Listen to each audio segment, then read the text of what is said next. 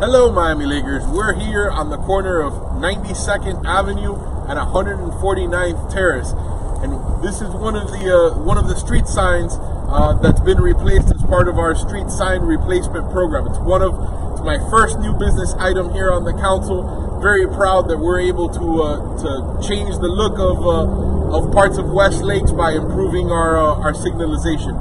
I'm joined by uh, by our mayor and our public work public works director, Mr. Carlos Acosta. Mr. Acosta, can you tell us how many signs we're looking at replacing? Uh, thank you, Council Member Fernandez and Mr. Mayor. Thank you for uh, being here today.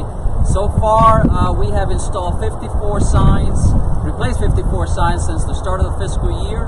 We just got a shipment of 160 more street name signs and about 300 uh, of those logos that go on top of it. So we're going to be pretty busy in the next couple of weeks uh, replacing all those faded street uh, name signs around town. So, Mayor?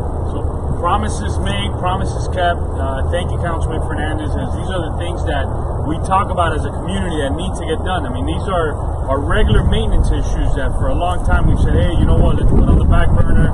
Let's uh, let's look at different things. No, we got to take care of these small things so then we can roll into the bigger projects and all that. So again, the council's moving forward. You have great leadership, like Councilman Fernandez and our Director Carlos Acosta, making sure that these things that are small, they can they can snowball into big things later on, but we're taking care of them today, not tomorrow, which is very important.